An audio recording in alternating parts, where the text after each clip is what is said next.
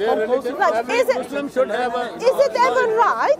Is it ever right to say Muhammad has red lines? So, Is it ever right to say here Muhammad has red lines and then we cannot cross that red lines? It's not all the same. I'm the wrong person to ask. You see, I'm, Are I'm Muslim. How long have you been Muslim? Pardon? How long have you been Muslim? Five, five years. Five years.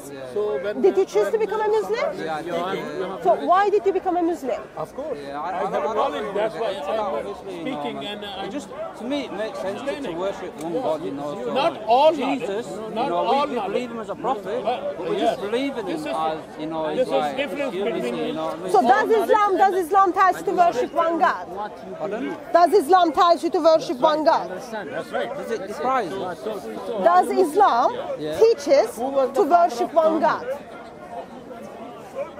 I don't, I don't I, I question because we just believe in one God, so you know. So what is that about one God you worship. believe? It teaches to worship one God, So- obviously. You know. Abdullah was born in Very practical family. questions. I'm not the. He worshipped pagan Allah. I'm not the He lived that as you a need to ask. pagan. He died some as a people pagan. I am not- So which obviously Allah? What, what, what is your name? What is your name? No, which Allah What is your name? Matthew, Which innit? Allah servant? Matthew. Matthew. So Basically- I'm not asking you a scholarly question. I'm just asking you very basics. And it's absolutely fine if you don't know the answer. Uh, But I am just curious.